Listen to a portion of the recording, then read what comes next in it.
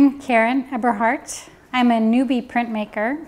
I got into printmaking here at Waterfall Arts. I took a few classes, kind of one-off classes. Um, I think the first was like four years ago with Tara Law, and that was in monoprint, and it was maybe uh, a series, like maybe four evenings, a, a four-class series.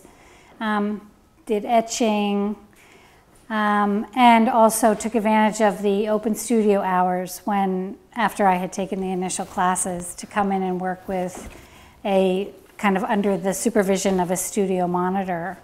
Um, and that was really fun, just testing out what I could do. And uh, late last year, I heard about this craft apprenticeship program. I had already been asking myself, how can I learn printmaking better? Because I was looking for uh, I was looking for learning in printmaking and really lucky that this opportunity came up to do the craft apprenticeship program.